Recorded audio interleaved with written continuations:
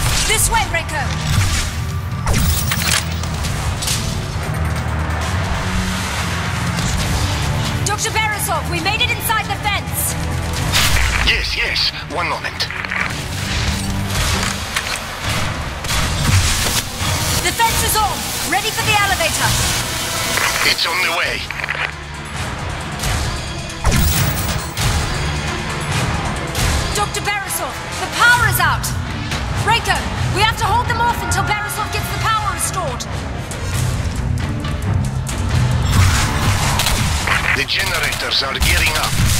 Renko, use the TMD to renew the power junctions on the fence. That should buy us some time.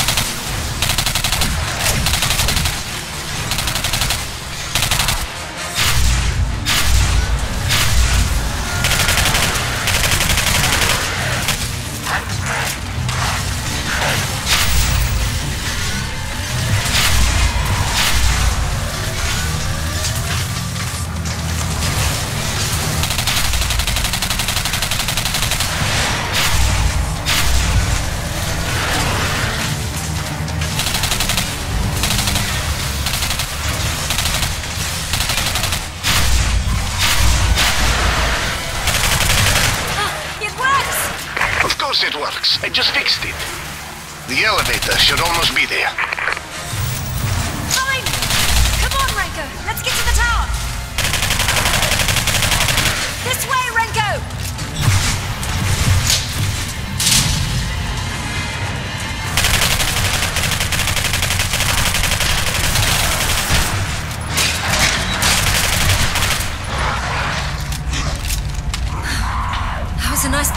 Down there, Renko.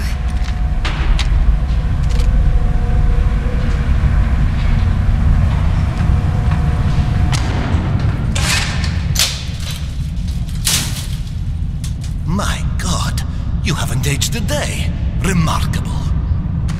You've undoubtedly figured out the timeline has been altered. Russia rules the world, and Demichev is the chancellor.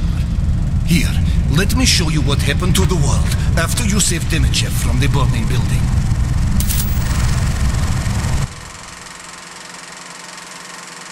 From the moment I invented the TMD, Demichev wanted it. He demanded I hand it over for him to use in his research. When I refused, he had me and everyone else who wouldn't cooperate labeled as traitors. If it weren't for you, I would have been killed along with everyone else. Demichev was obsessed with the power and possibilities of the singularity. But a few months after it came online, there was a terrible accident. The singularity exploded, killing thousands instantly. But they were the lucky ones. Those who survived were left to a fate worse than death. The E99 radiation mutated every living thing on the island, including humans. The island was quarantined and abandoned, but not before E99 had been effectively mass produced and implemented in everything from microwaves and vehicles to weapons more powerful than America's atomic bomb. On the heels of this success, Demichev was able to quickly rise through the party ranks, preaching all the while that Russia had a technological advantage it must use quickly and ruthlessly. And Premier Khrushchev agreed. Russia launched a preemptive strike against the United States, devastating its entire east coast with a single E 99 bomb. Simultaneous attacks were also launched across Europe. Germany, France, Great Britain. None could stand against the E 99 weapons of the USSR's troops. Within six months, the entire world was under Khrushchev's control. But not for long. Demichev used his growing number of supporters to oust Khrushchev and install himself as chancellor for life.